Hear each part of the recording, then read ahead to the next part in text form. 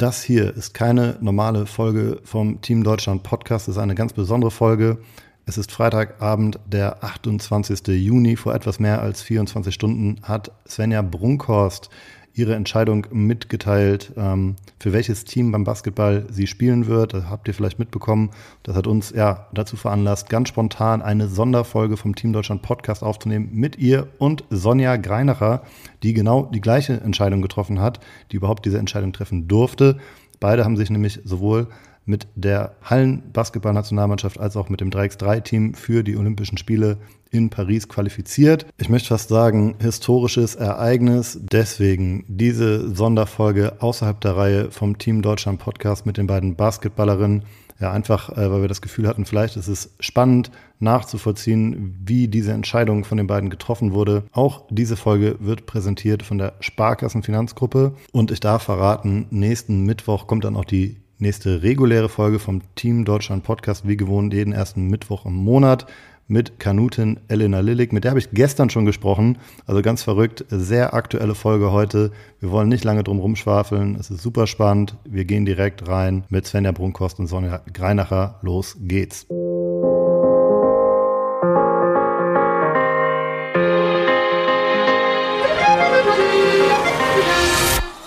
Yo, ich nenne es einfach mal das äh, Committed Spezial. Ähm, schön, dass ihr da seid, Svenja und Sunny. Ja, vielen Dank für die Einladung. Vielen Dank. Ist es fair zu sagen, äh, dass ihr dieses Jahr schon zwei fette Partys gefeiert habt? Äh, erst eine in der Halle und dann eine auf dem 3x3-Court. Äh, Sunny, ich frage dich direkt mal. Ähm, ja, gute Frage jetzt direkt zum, an, zu Anfang an. Ähm, wir haben tatsächlich, wir haben eine richtige Olympic Qualification Party ähm, gemacht, die haben Svenny und ich gehostet. Ähm, nach der Februar äh, Olympia-Qualifikation, also nach der 5 gegen 5 Quali. Und ähm, ja, ich würde sagen, wir haben, wir haben viele vom TKH eingeladen. Wir haben natürlich äh, alle, die so in Deutschland waren, waren jetzt nicht so viele von der 5 gegen 5 Nationalmannschaft eingeladen. Aber ähm, ich glaube, Svenny und ich haben am meisten Gas gegeben an dem Abend. Wir waren richtige ja. Gastgeber. Genau. Sehr, sehr gut. Irgendwas hat mich da auch erreicht auf Instagram, irgendwas habe ich da gesehen, aber äh, es war ja auch historic. Äh, insofern fair enough. Lass uns da direkt mal anfangen im Februar. Brasilien, äh, 5 gegen 5, Hallen, Basketball-Nationalmannschaft, Qualiturnier. Ähm, was war da los? Wie war der Vibe damals? Äh, vielleicht erst mal vorm Turnier, als ihr reingestartet seid. Hattet ihr da schon, also den Plan hattet ihr offensichtlich, aber ähm, war das ein realistisches Ziel für euch, die Olympia-Quali? Ja, ich denke äh, schon. Also natürlich die Ausgangssituation, dass wir überhaupt dann da waren, ähm, war für uns die erste Überraschung. Natürlich, das hat angefangen mit der Europameisterschaft. Äh, fast vor einem Jahr war das jetzt ganz genau.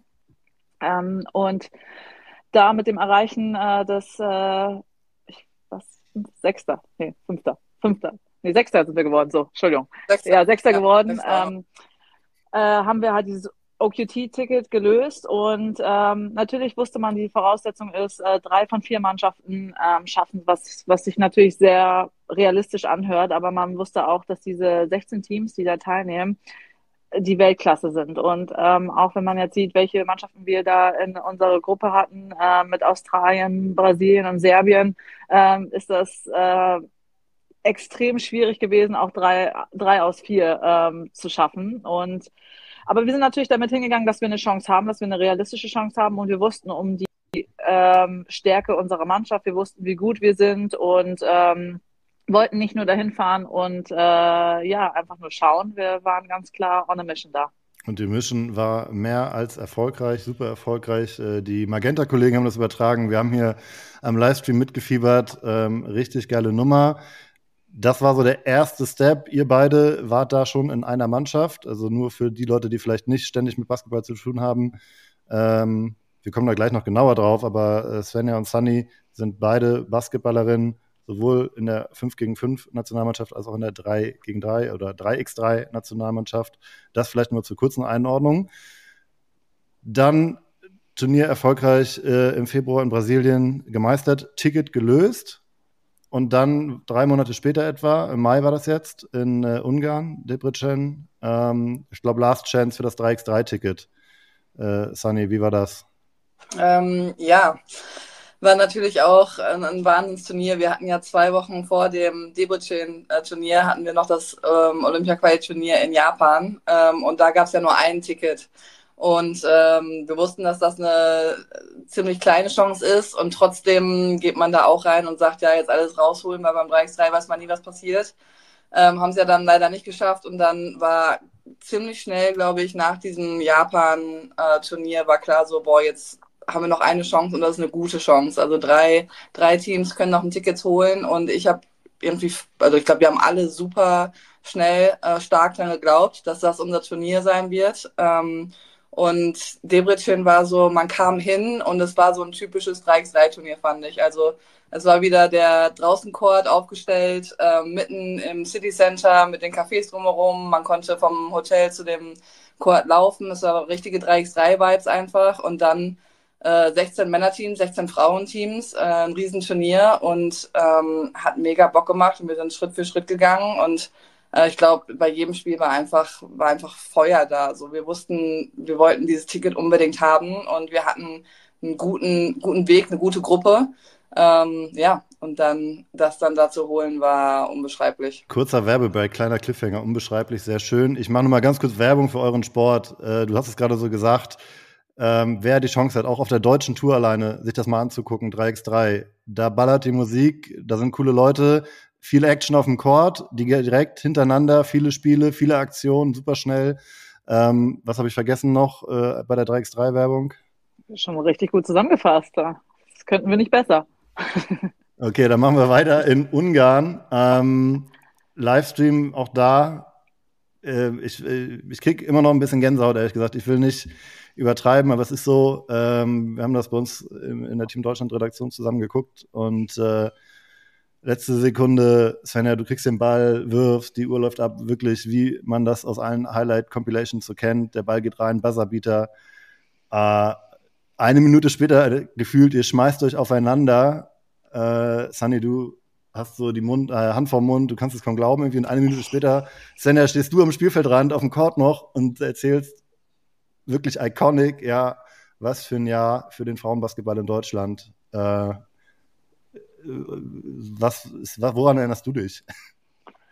An wirklich nicht mehr so viel. Also ich werde natürlich extrem oft gefragt zu diesem, zu diesem letzten Wurf, was mir da durch den Kopf ging, wie ich das gesehen habe und so weiter. Ähm, es ist ganz viel Instinkt. Es ist wirklich ähm, auch ein Wurf, den ich äh, extrem viel trainiert habe und ähm, ja, danach war es natürlich irgendwie Rollercoaster der Gefühle. Man hat es kaum ähm, realisieren können und ja, auch in diesem Interview, man redet natürlich auch, glaube ich, sehr viel Quatsch, ähm, weil man es gar nicht so zusammenfassen kann.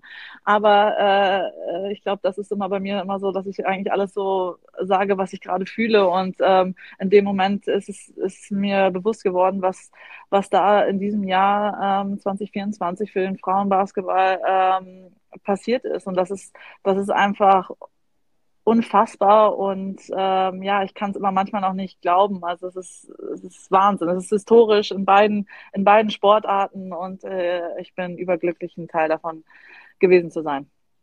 Historisch wirklich deswegen nur zum Mitschreiben nochmal für alle, weil es bei beiden Sportarten für die Frauen das erste Mal dabei ist. Äh, die Frauen das erste Mal bei den Olympischen Spielen dabei sind für Deutschland. Äh, ihr wart Teil in beiden Teams. Alleine das ist ja wirklich, muss man sagen, historic. Ähm, Sunny, bevor wir gleich, wir reden natürlich gleich über eure Entscheidung dann, weil klar, okay, ihr habt zwei Qualis geholt und dann ähm, muss man sich, glaube ich, irgendwann entscheiden. Das habt ihr getan, da reden wir gleich zu. Lass uns mal ganz kurz kommen zum Thema Olympia generell. Ähm, sind das, ich gehe mal auf eine andere Schiene erst, bevor wir vielleicht noch über Olympia sprechen, diese Momente, ich habe es gerade beschrieben, wie du da auf dem Boden liegst, sind das Momente, die man nie vergisst, die für immer bleiben? Ja, ich glaube, auf jeden Fall. Ähm, also man hat sich das ja irgendwie auch schon vorher ein paar Mal vorgestellt oder oft vorgestellt, wie es sein würde, wenn man sich dann qualifiziert und dann feuert man erstmal drei Wochen durch und keine Ahnung was und es ist nichts anderes mehr wichtig im Leben und so.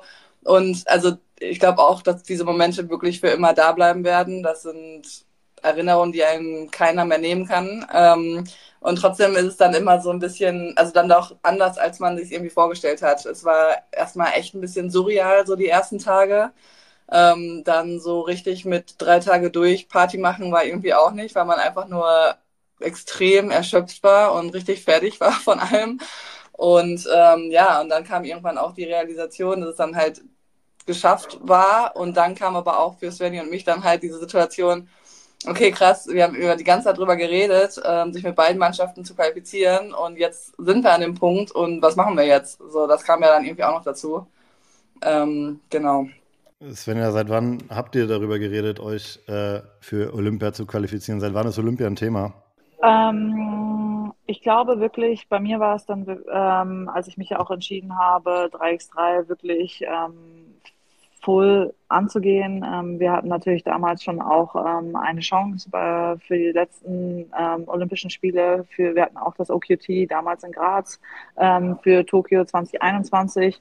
Da war es zum ersten Mal ähm, für mich extrem greifbar, dass das äh, eine Möglichkeit ist. Wir waren beim OQT, was wir sonst äh, im Frauenbasketball noch nie geschafft haben.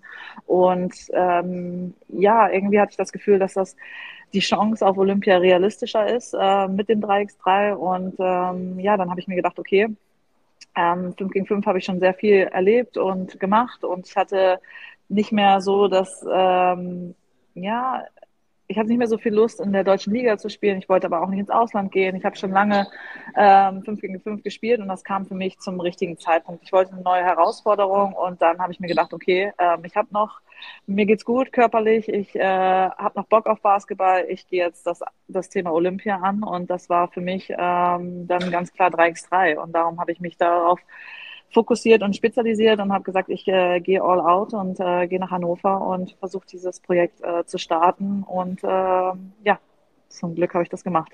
Und das ja sogar, obwohl du in der äh, Halle, also beim 5 gegen 5, äh, Kapitänin bist, warst. Ich weiß es nicht genau, ehrlich gesagt, ob es jetzt so bleibt, wahrscheinlich nicht, ohne es viel, zu viel vorwegzunehmen. Ja, auch das. Ähm, nee, natürlich ist es äh, mir extrem schwierig gefallen. Ich war froh, dass ich noch ein Teil von der 5 gegen 5 Nationalmannschaft auch mal ähm, sein konnte. Natürlich habe ich das auch öfters mal in Frage gestellt, ob es so ähm, sinnvoll ist, wenn ich nur 3x3 spiele, ob ich dann zu den ähm, Quali-Spielen oder allgemein 5 gegen 5 Nationalmannschaft spiele, ob ich dem gerecht werde, wenn ich nicht äh, tagtäglich 5 gegen 5 trainiere. Ähm, ja, aber die Mannschaft hat immer wieder mich nominiert oder die, der Coaching-Staff und ähm, so bin ich immer noch dabei geblieben und auch da zum Glück. Das ist äh, irgendwie über die Jahre, obwohl man sich auf 3x3 spezialisiert hat, ähm, noch ein Teil von dieser Mannschaft war. Und auch in der, das muss man auch sagen, so in der Außenwirkung, für jemanden, der sich, selbst für mich, der sich relativ viel mit äh, auseinandersetzt, ist ja wirklich der Frauenbasketball in den letzten Jahren nochmal deutlich, zumindest klar in Amerika, äh, in der Wahrnehmung äh, nochmal deutlich gestiegen, explodiert, möchte ich nicht sagen. Dafür ist es, glaube ich, immer noch nur zu punktuell. Aber ähm, ich, man merkt irgendwie, da ist was im Kommen und da geht es irgendwie los. Und äh, umso mehr freue ich mich, dass ich mit euch beiden sprechen kann, weil es wirklich diese besondere Rolle bei euch ist. Jetzt gehen wir mal, äh, ich glaube, es war der 19. Mai, Ticket 2, Ticket Nummer 2 ist sicher. Wann kam denn der Gedanke, ich glaube, Sandy, du hast es gerade schon so angedeutet, okay, wir müssen uns jetzt entscheiden? Ähm, ja, ziemlich schnell dann danach. Also ähm, wir sind dann am nächsten Tag geflogen und dann war irgendwie schon so, okay, wahrscheinlich ähm, lassen sie uns jetzt erstmal so ein, zwei Tage in Ruhe, aber dann wird wahrscheinlich auch ziemlich schnell der Verband äh, mal anrufen und so sagen, ja, also ich habe damit gerechnet, dass, dass eine Deadline kommt. So bis dann und dann müsst ihr euch entscheiden und dann müsst ihr jetzt auch mit den Coaches mal reden und so. Ähm, aber es war schon wirklich sehr schnell danach. Ähm, dann haben Svenny und ich uns auch direkt einen Tag nach, ähm, nachdem wir wieder zu Hause waren, getroffen und saßen im Café und ähm, ja, dann liefen irgendwie auch die Tränen, weil, glaube ich, beide einfach komplett überfordert waren. Ähm, obwohl man gerade sowas, sowas Cooles und ähm, Wunderbares geschafft hat, war dann irgendwie auch schnell irgendwie klar, ja, eins der beiden Sachen muss aufgegeben werden. Kurze Werbeunterbrechung in eigener Sache. Wer regelmäßig diesen Podcast bis zum Ende hört, der hat schon mal von der Team Deutschland Fanzone in Paris gehört. Davon erzähle ich nämlich immer im regulären Podcast im Outro von, dass ihr da vorbeikommen sollt. Spätestens seit der Fußball-EM hier in Deutschland habt ihr alle schon mal von einer Fanzone gehört. Wir, Team Deutschland, haben auch eine Fanzone in Paris während der Olympischen Spiele. Da solltet ihr unbedingt vorbeikommen. Wir haben Konzerte. Am 27. Juli spielt Clouseau, Tim Bensko ist auch am Start und viele weitere Künstlerinnen und Künstler und Bands, also beste Stimmung. Wir haben Public Viewing. Das heißt, wenn ihr zum Beispiel Wettkampftickets für die Olympischen Spiele habt, für eine bestimmte Session oder ja einen bestimmten Wettkampf, habt aber dann noch ein bisschen Leerlauf, kommt doch vorbei auf der Team Deutschland Fanzone. Das ist nämlich direkt neben dem Parc de Princes und dem Tennisstadion Roland Garros sehr zentral gelegen in der Stadt in einem ganzen Stadion. Nicht die Stadionatmosphäre also, wir sind auf dem Infield und da kommt ihr einfach vorbei und wir können dann gemeinsam auf der großen Leinwand zum Beispiel die Handballer oder die Fußballerin anfeuern, ähm, wenn ihr dort keine Tickets bekommen habt. Apropos Tickets, die gibt es schon für 20 Euro. Ab 20 Euro seid ihr dabei. Und das Beste ist, es gibt ganz viel Sport zum selber machen, unter anderem 3x3. Basketball könnt ihr da ausprobieren. Da sind auch Svenja und Sonja einen Tag zu Gast, versprochen. Also on top noch Athletinnen vom Team Deutschland ja, zum Anfassen, vielleicht sogar zum Gegeneinander spielen. 3x3 Basketball ist zusammen mit anderen Sportarten, die ihr da ausprobieren könnt, auch Teil der Fanzone Challenge, die von der Sparkassenfinanzgruppe präsentiert wird. Da könnt ihr dann auch noch täglich Tickets für das Deutsche Haus gewinnen. Also eine ganze Menge los auf der Team Deutschland Fanzone in Paris. Guckt euch das einfach mal an auf www.teamdeutschland.de. Ich verspreche euch, es wird keine günstigeren Tickets in Paris geben. Also ein Besuch lohnt sich. Kommt vorbei. Wir sehen uns da. Äh, war das eine Phase, wo ihr viel miteinander gesprochen habt? Offensichtlich, äh, wenn du schon sagst, ihr habt euch direkt getroffen. Wie war dann der Prozess? Gab es dann eine Deadline irgendwie? Habt ihr euch die selber gesetzt ähm, bis zur Entscheidung? Oder war vielleicht der Gedanke auch schon da und ihr musstet das nur noch ein bisschen mit euch mittragen. Wie war so der Prozess? Ja, der Prozess war ähm, definitiv ein Rollercoaster, genauso wie es jetzt halt alles ähm, auch, ja, es hat natürlich auch sehr lange gedauert, glaube ich, für, für die Medienwelt. Alle haben äh, die ersten zwei Tage davon äh, oder die nächsten Tage berichtet und haben auch gewartet, dass das, glaube ich, relativ schnell eine Entscheidung kommt. Und so wie Sunny es auch gerade erzählt hat, auch wir hatten gedacht, dass es relativ schnell passieren muss, aber diese Gespräche haben sich alle gezogen und äh, wir konnten immer mehr ähm, uns klar werden, was, was wir da gerade geschaffen haben. Und ähm, ja, dann kam auf einmal nicht nur, dass das vielleicht nur eins geht, sondern vielleicht auch nochmal die, ähm, ja, die Option, ob nicht beides möglich ist. Und ähm, da waren natürlich auch viele Faktoren, die man äh, besprechen muss. Und ähm, dann war natürlich der Spielplan lange nicht draußen beim äh, 3x3, wo man noch gar nicht sagen könnte, okay, geht das überhaupt, ist das machbar und so weiter. Also es waren so viele Komponenten, die noch nicht klar waren und darum hat sich das alles einfach extrem gezogen und ähm, ja, war auch, äh, um ehrlich zu sein, nicht einfach. Ähm, es waren wirklich ähm, von ähm, Tränen bis äh, viel Zeit, viel Kopfzerbrechen, ähm, Pro- und Kontralisten schreiben, alles Mögliche war, war dabei und ähm, ja, dann halt, wo der Spielplatz, Spielplan draußen war, ähm, war dann auf jeden Fall klar, dass es, dass es eine Überschneidung gibt, dass es äh, beides wirklich schwierig ist. Aber auch dann haben noch weiter Gespräche geführ, äh, wurden geführt und es ist irgendwie nicht abgerissen und darum war dieser Prozess extrem lange und äh, für mich auch sehr mental, ich merke es jetzt gerade, ähm, auch anstrengend. Ähm, ich habe jetzt eine Entscheidung getroffen, aber es war ein langer Prozess und es war doch ein echt ein schwieriger Prozess. Das kann ich mir nur gut vorstellen, wenn wirklich viele Seiten irgendwie kommen, klar Verband, klar Medien, äh, zwei Teams und Teammitglieder, die wir vielleicht sogar in Ruhe gelassen haben, aber wo ihr dann selber vielleicht auch Druck verspürt. Äh, Sandy, wie war es für dich? Mit wem hast du noch alles geredet? Auch ja, vielleicht sogar auch im privaten Umkreis, Menschen, die dich begleiten. Äh, mit wem hast du so geredet? Ähm, ja, klar. Also Familie, Freunde. Ähm, ich glaube, Svenny und ich, dadurch, dass wir einfach in der komplett gleichen Situation waren und einfach so gut befreundet sind, natürlich konstant. Ähm, und dann ist ja auch ganz witzig, ich, ich fand es cool, dass viele Leute auch wirklich so auf den sozialen Medien geschrieben haben, so hey, ich hoffe, du entscheidest dich dafür oder dafür. Und aber es waren auch wirklich sehr, sehr viele Leute, die äh, eine starke Meinung hatten und da, glaube ich, ein bisschen beim Entscheidungsprozess auch helfen wollten. Ich glaube, wirklich nur gut gemeint. Ähm, aber war auch interessant, mal so zu sehen, was so die ganzen Fans so, so davon halten. Ähm, bei mir, ich war sicherlich noch in einer bisschen anderen Situation als Svenny, einfach dadurch, dass meine, meine Rolle ähm, beim 5 gegen 5 nicht mehr so präsent war wie Svenny als Captain und als Starting-Aufbauspielerin. Ähm, und trotzdem war ich auch, seitdem ich mich seit oder für 3x3 entschieden habe, ähm, bei jedem 5 gegen 5 Länderspiel dabei und bei jeder Nazio-Pause dabei. Und das sind meine Leute, mit denen ich seit ich weiß nicht wie viele Jahren im Sommer ähm, zusammen gespielt habe. Und ähm, dann kam natürlich auch noch der, der Faktor dazu oder Faktor dazu, dass äh, ich gerne mit Svenny Olympia spielen wollen würde. Und dieses, der eine entscheidet sich dafür und die andere dafür, war extrem, ähm, oder die Vorstellung davon war extrem schmerzhaft, weil ich wollte dieses Highlight meiner Karriere und dieses, ja, dieses krasse Event einfach unglaublich gerne mit Svenny zusammen erleben und spielen.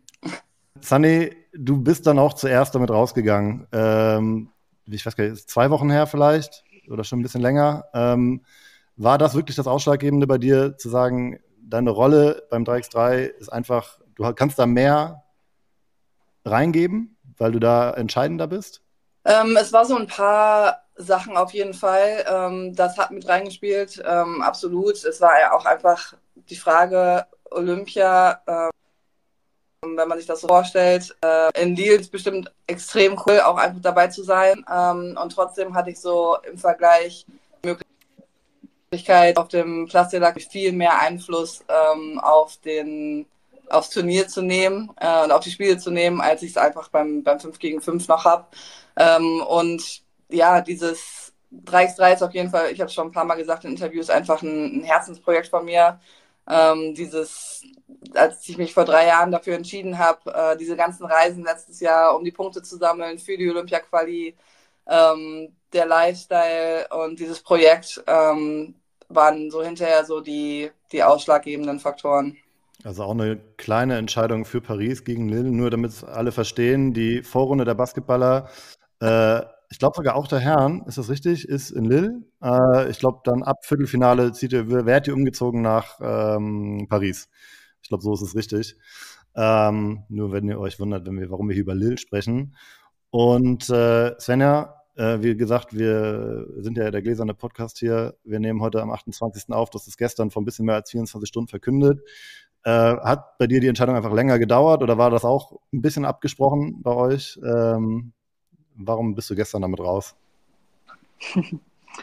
Ja, Sunny hat es ähm, schon ein bisschen angesprochen. Ähm, ich hatte ganz viele Gespräche auch natürlich mit der, mit der 5 gegen 5 Nationalmannschaft. Ähm, äh, es waren viele Ideen im Raum, äh, beides zu spielen und ähm, das war eigentlich auch das Ziel die ganze Zeit, ähm, da, ob ich es möglich machen kann. Ähm, ich glaube, beide Coachingsteams haben mich da sehr unterstützt, auch meine Teams haben mich da unterstützt. Ähm, Im Endeffekt ähm, war es leider nicht meine, meine Entscheidung, dass ich da ganz ähm, so gehen konnte, wie ich den Ge Weg gerne gehen wollte.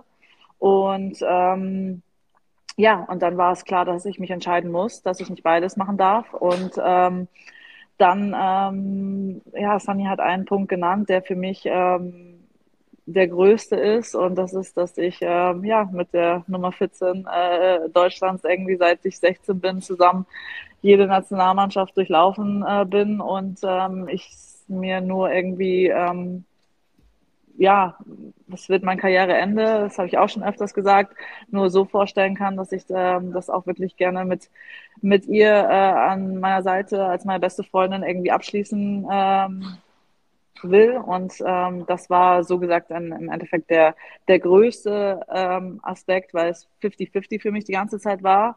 Und das war die eine Komponente, die für mich, äh, ja, dann 51, 49 gefühlt gemacht hat. Oder 99, 1. Ich weiß nicht, was, wie, viel, wie, wie viel Gewicht ich dann geben will. Oh mein Gott, sehr, sehr schön. Ich zitiere hier mal ganz kurz aus unserem äh, internen WhatsApp-Chat zur Vorbereitung auf diesen Podcast. Ähm, da habe ich aus technischen Gründen habe ich gefragt, ob ihr in einem Raum seid oder zusammen seid gerade, weil ihr zusammen unterwegs seid.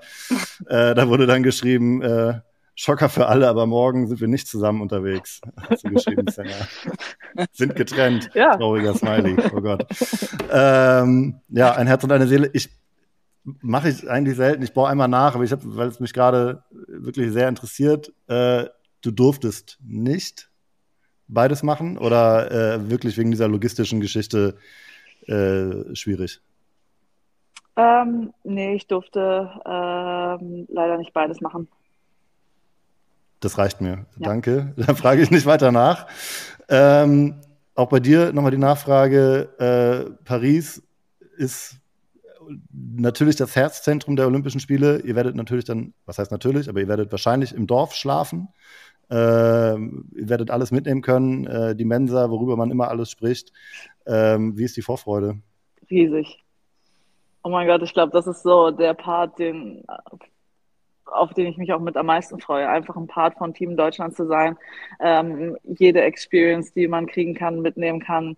Ähm, das ist natürlich auch ein Aspekt, den man ganz klar bedenken musste. Also das ist einfach dieses im Olympischen Dorf in Paris zu sein, das ganze, die ganze Experience. Ähm, es ist für mich die einmalige Chance, dass ich dabei bin und dann ähm, ja will man natürlich auch das ganze Programm mitmachen und ich freue mich drauf. Äh, ich ich habe sowas noch nie erlebt und nur von ähm, Geschichten oder vom Fernsehen zu sehen, wie alle Sportler davon berichten und habe mir jedes Mal gedacht, auch ich möchte gerne das äh, schlechte Essen da oder auf den kleinen Betten liegen, weil das ist einfach so, ja, das ist alles, ich, ich freue mich, glaube ich, über alles. Und ähm, ich bin auch manchmal eine, die sich ein bisschen beschwert. Ähm, äh, Sunny, ich versuche es nicht zu machen diesmal. Sehr gut. Ich stelle noch mal eine, eine letzte sportliche Frage, bevor wir tatsächlich auch gleich schon am Ende sind. Äh, helft mir mal, ich sehe das von außen. War das auch eine Entscheidung, ähm, gar nicht äh, ausschlaggebend für euch, aber war das trotzdem vielleicht auch eine Entscheidung für den größeren möglichen sportlichen Erfolg? Könntet ihr beim 3x3 rein von außen betrachtet mehr erreichen? Ist es mehr möglich als in der, in, beim 5 gegen 5? Mm, also ich glaube schon, dass ähm, man beim 3x3 einfach nie genau weiß, wie so ein Turnier einfach abläuft. Ähm, und wir sind ein sehr, sehr gutes Team und es sind einfach nur acht Teams, muss man auch sagen. Das heißt, Medaillenchance ist da auf jeden Fall einfach auch schon statistisch, äh, glaube ich, höher.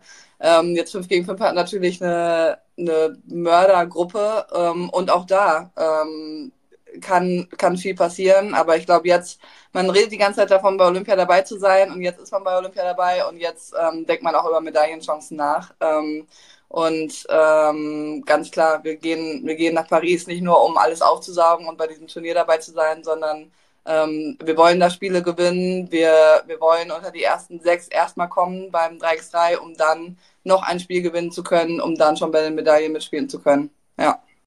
Richtig, richtig, richtig geil. Ich wollte eigentlich zum Intro auch nochmal gratulieren. Ähm, zur Aufnahme ins Team Deutschland habe ich nochmal kurz geguckt. Ihr wart ja sogar schon mal im Team Deutschland. Äh, 2019 Minsk European Games wart ihr auch schon am Start. Schon weit vor meiner Zeit. Also ihr habt viel mehr Team Deutschland Erfahrung als ich.